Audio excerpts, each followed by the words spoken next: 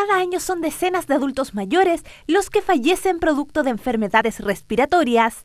Es el caso de la neumonía, enfermedad responsable del 3,7% de las muertes sobre los 65 años en el 2016, según la revista de Infectología de Chile.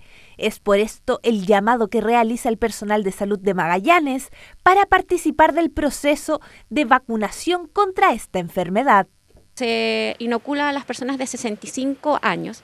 Ya eh, cada persona que tenga esta edad y no haya recibido esta vacuna, tenga 65 o más, los invitamos a acercarse a los centros de salud a, inocularse.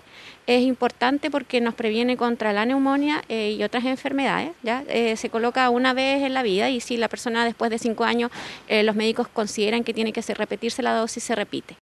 Introducida en el año 2007 al Programa Nacional de Inmunización para Adultos Mayores, la vacuna neumocócica se aplica de manera gratuita. Actualmente en la región con este son tres procesos de inoculación que se desarrollan en paralelo, pero que no tienen contraindicaciones entre sí.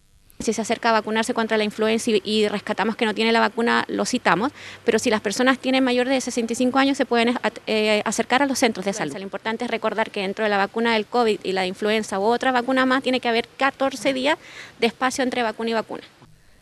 Ya lo saben, caso de no haberse inoculado con esta vacuna y tener un espacio a lo menos de 15 días con la vacuna contra la influenza o coronavirus, puede acercarse a los CESFAM para protegerse de las populares enfermedades respiratorias.